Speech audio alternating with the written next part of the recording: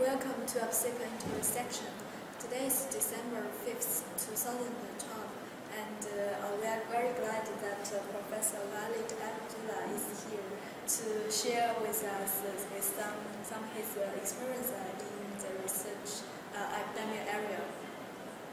So Professor Waleed Abdulla is from University of Auckland, and his research interests including the um, um, human biometrics, uh, speech signal processing, active noise control, and, and so on.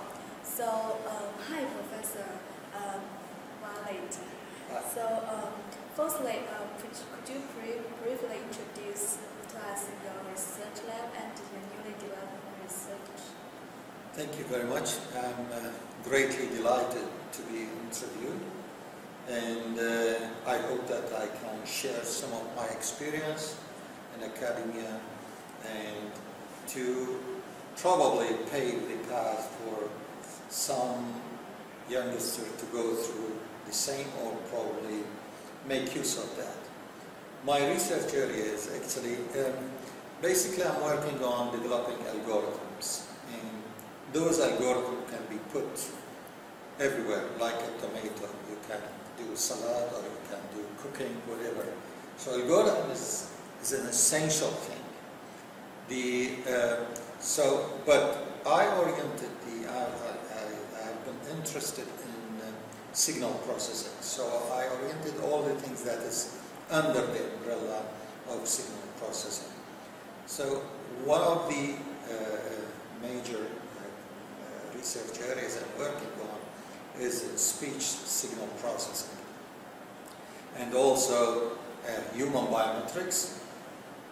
Human biometrics could include part of the speech because speaker recognition can be considered as a biometric. It's a very strong, it's a very good and a lot of people are interested in, but still not fully developed, but yet it's very important because it's a way of communication using telephone, mobiles, and this is very proliferated uh, devices for communication among people. Um, the other area that I'm active in is active noise control. Basically, it's, uh, it's something that you filter the noise or reduce the noise by introducing what is called anti-noise. You see that if you add two signals anti-phase, you can get that to a minimum uh, level of the of the noise. But the problem is how to estimate the noise and how to get the anti-noise from that. So it's uh, the, those areas actually are uh, very challenging areas, and we normally concentrate on develop, developing the theory behind these and also put that into some applications.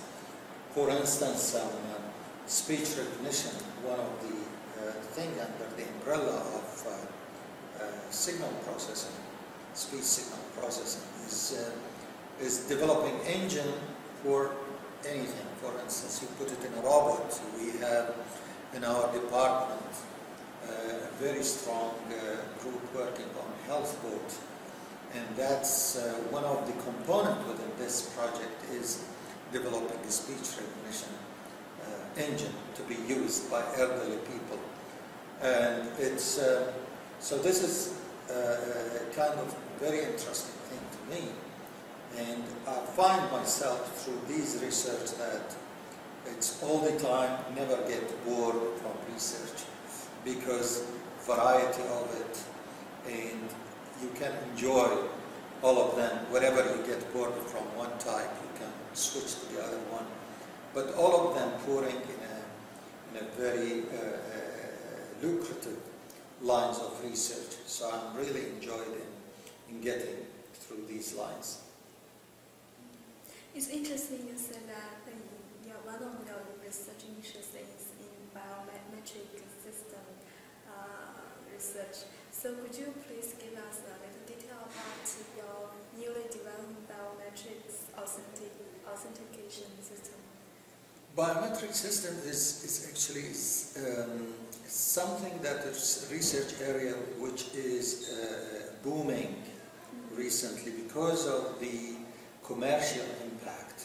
It's a multi-billion uh, industry. And in 2001, uh, MIT review stated that one of the uh, main technology that will change the world or have great impact on the world is biometrics. Mm. Biometrics is basically uh, getting or acquiring features from human. So you don't need to bring card or uh, remember something. It's with you. You can use your fingerprint. You can use uh, uh your face to be recognized. You don't need to provide anything, but the system could get some features from that and uh, recognize you or auth uh, authenticate your identity. And it's, uh, it will go everywhere. And it started from even entering the park, Disneyland. It's not very far from LA now. It's, um, you can see that it's, uh, uh, they are using the fingerprints with the card. When they get into the park, they have to use it. So it's, uh, that's the thing. Um, but we are working on fingerprints, despite it's an, an, an old technique and it has been used for over 100 years. But still, there are a lot of room of improvement, a lot of room which hasn't been discovered yet.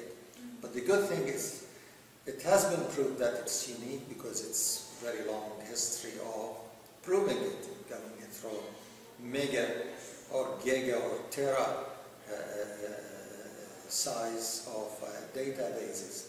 So it is the biometrics that it's, there is no uh, suspect that it's unique among people, even dead and alive. And uh, so it can be used for differentiating. This is one of the things. But the other thing that is very challenging and less research in it is securing that.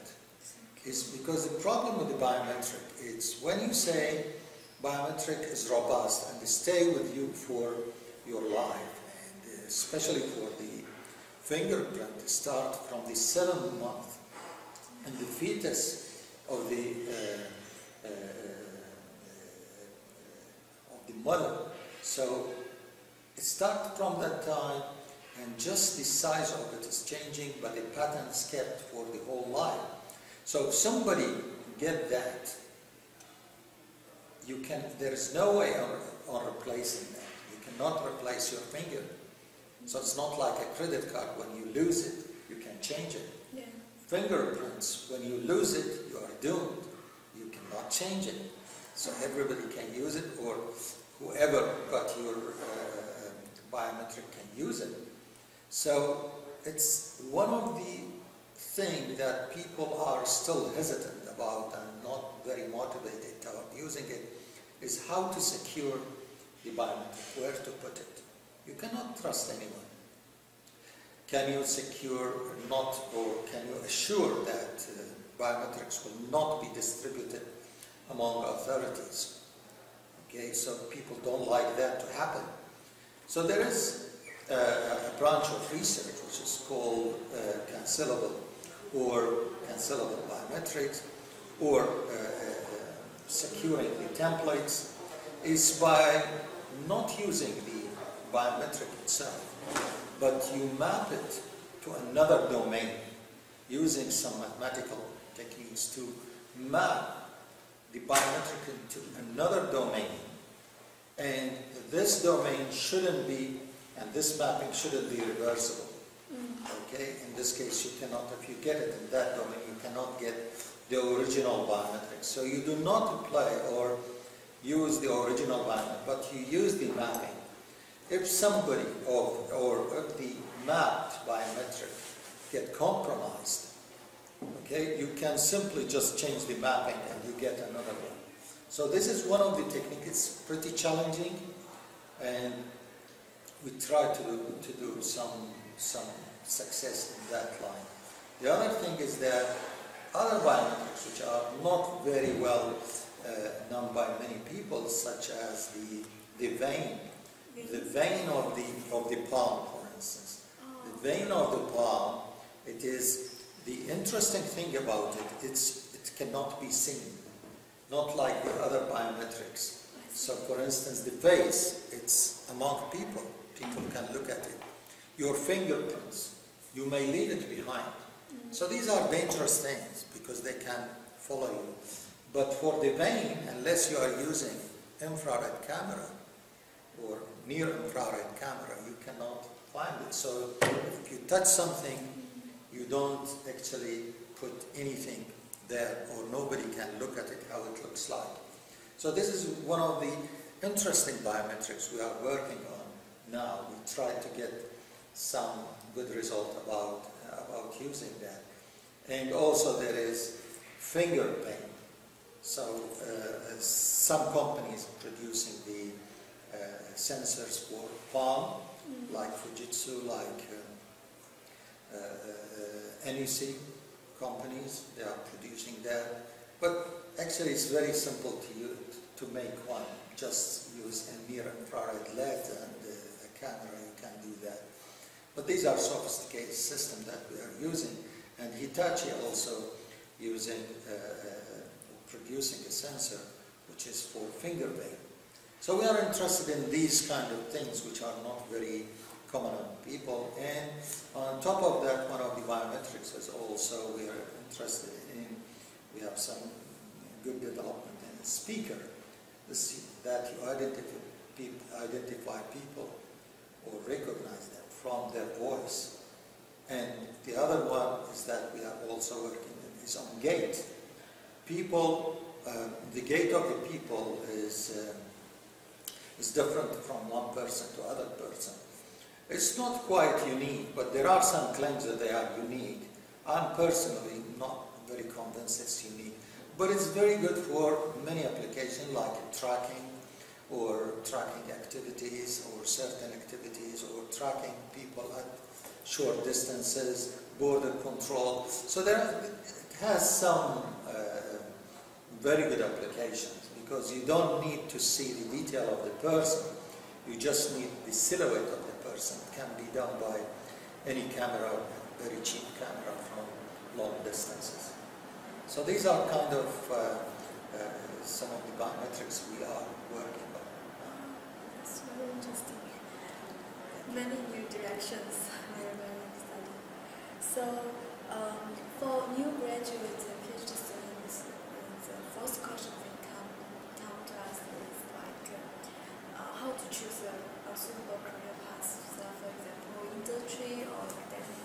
Do you have any suggestions? Well, if the graduate of the PhD asking himself this question, this is, I'm going to tell him that it's too late to ask yourself this question. Uh, okay. You should ask yourself this question. For the first time you put your, uh, your foot in the university, mm. where do you want to go? From that time, first year or probably the second year or even third year, but not later than that. Mm. You ask yourself whether you prefer going to the industry or going to the academy. Sometimes it's, it's now uh, many companies also hire PhD, PhD students, and it's called PhD uh, graduate. But the thing is that it's uh, industry does mostly they do not prefer PhD. Now the interest is more in the master so when the student is, when he get to the university or she get to the university, ask himself whether he or she would like to go industry or academy. Mm-hmm. Why is that? It has to come very early. Because in this case, if you have options in your study, you direct yourself toward, for instance, I would like to go to industry. I concentrate everything on implementation doing very, being a very good programmer, uh, going through any course that provide with tools, with uh, hardware implementation, uh, software implementation, things like that, that it could be lucrative or increase your value in the eyes of the industry. However, if you are interested in academia, you have to concentrate more on mathematics, on something which is uh, going to statistics or any option or any course that provide you with these kind of things of, of, of skills that is mostly mathematics. Mathematics is something essential. Mathematics, signal processing, these are challenging and tough. Many students try to get away from them by going to options they do not go through that for many reasons that they, they don't. But it's, so you have, once you decide at the university, you can choose even the courses that increase your value in this direction or that direction. If you say that I'm graduated now, where do I go? Whether I go, it means that it's this plan comes very late. Yet it's not something which is, uh, somebody hasn't thought about that until uh, finished the degree. Well, it's just his chances might be more difficult to get a good chance because he might not be prepared for the industry. Say, I would like to go to industry. And when it comes to the, uh, his experience or her experience, you see that student didn't get any uh, uh, uh, path for the industry, no skill or implementation or probably programming or something. Probably everything selected in mathematics, even the PhD, the research. So even that, so I would like to go to industry, I have to get something in, in my research which is more toward what the industry are looking for. So I have to look at this. What are the things that are the industry are looking for? So I get my research in that line. So those things has to be planned early. And this is what a lot of research have been done. Students from the first year or second year decide where to go. They are very, very successful. And there are several, several studies on that. Studies which goes for 10 or 15 years. So they found that students who decided very early where to go and they plan for that, they become very successful, whether in academia or industry. Yeah, Professor Lally, um, as a successful researcher as you, so um, could you please share us some tips on how to balance between your life and some research? Uh, well, it's balance is, it's very difficult. And this is a very good question. What do you Uh, uh, mean by life? Some researchers think that life is in the labs. when they find, when they get into a state that you prepare your tea and you forget to drink it, you are a good researcher It means that you are so into the research. But this is not something which is to say about all research or something like that. People should, should make a good balance between their own life, their family life, and their research life. They have to put some border. But sometimes you cannot control it. If you have a conference or a journal and there is a deadline, so everything then shifted toward the research. So you might not find enough time for the family, but you still enjoy it and something. So it's, but you have to compensate. When you are not in that situation, you have to pay back to the family, to your life. Otherwise, life is not just sitting in the labs or doing things. It, it has to be also, research has to be with people. Research has to serve people. So if you are not with people, you are not communicating with them, you don't need, you don't know their needs. So you might, from communicating with sometimes you find some people suffer from certain sicknesses. You can think you have, oh, okay, why we don't do that for them? Mm-hmm. So being with family, with people, with, this is also useful because social life is very important. We shouldn't drift completely to this and that. we have heard about some very great scientists who were some of them they cannot, they, they forget their breakfast, their lunch, and even their dinners. But this is not very common. If you would like to live a normal life, life is not just one thing, it's many things. Successful people, in my view, who can balance between all of them, they shouldn't go through something and leave the other things. If you are successful in one line only, and you forget about you have miserable life, or it's unbalanced family life, that's not a success.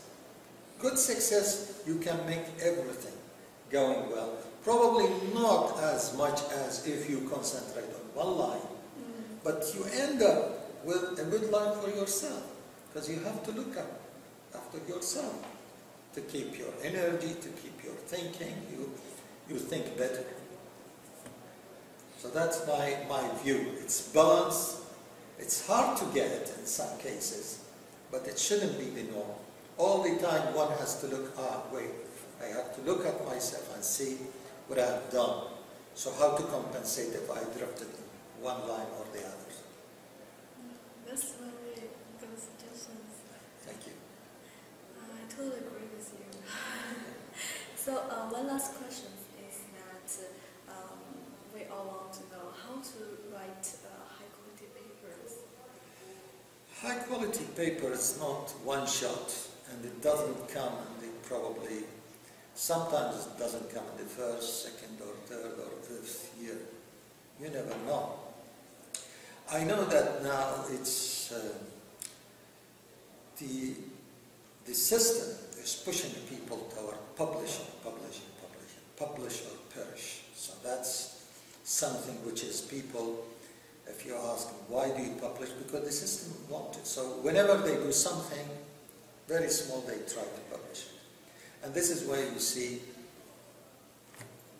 millions of publications. But how many publications are fundamental? Not many. And if you look at the 70s, the 60s, the 40s, the fundamentals came from there. Why? Because the person might work for 10 years and produce one paper, but that paper could be very fundamental. So why do you publish? Because I want to distribute my thought, because this is something which I get, which is very fundamental, very important. I want to share it with the people. I want other people to work and develop on. So at that they decide the decision of making the publication, make it that high quality. But if you are driven by, I have to publish each year five papers or ten papers, I, yes, could be one of them is very good, nine of them are, nobody will even look at them. Okay, so how to publish a quality paper? You have to focus on, on something and keep digging on it. And try to get not you cannot just okay I find this I'll put it in a journal and it will be published. No. Okay I find this it's promising I put it in a conference. So from that conference I put it in a selective conference. It's not a conference it's not any conference it's just for publication. No. I have to know what are the conferences, high quality conferences that are in the line of this paper. So I put it there and see what do I get from them. Because they give it to quality reviewers, give you feedback.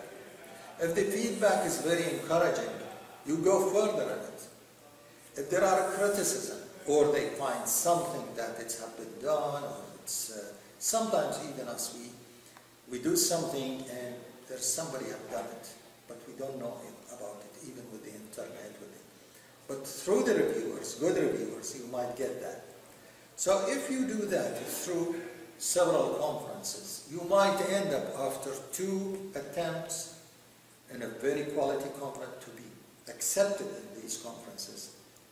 The third one could be a journal paper in a very good place because you have build these steps. Mm. So it's a step by step. You cannot jump. You can say, okay, I find this, I'll put it in in that quality journal or this is great. And you cannot say, oh, I got interesting, very good result. Nobody had done it.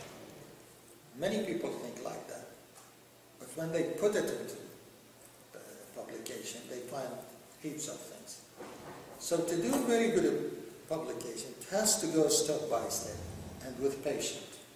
It's not to rush. It's not to put it in a...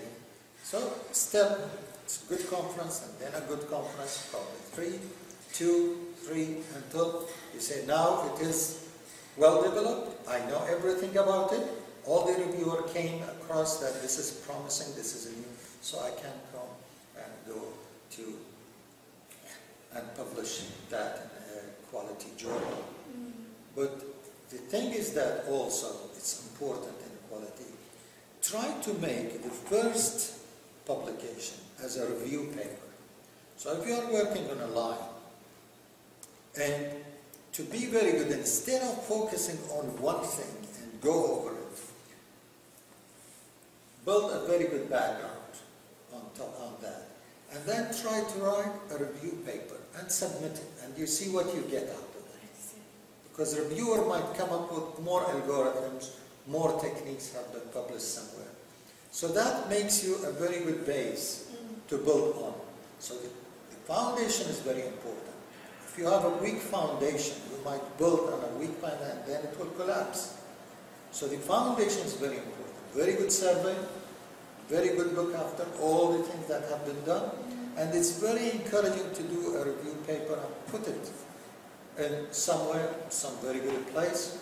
And then on top of that, you see narrow band, narrow it's narrow the, the, the, the, uh, the survey into which line is more interesting to you.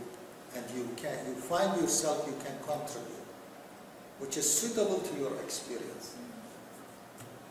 Yeah, that's, that's right. Step is best and first review, then build a uh, good presentation. Uh, thank you, thank you, Professor Elliot. Thank you for your valuable experience. Thank you.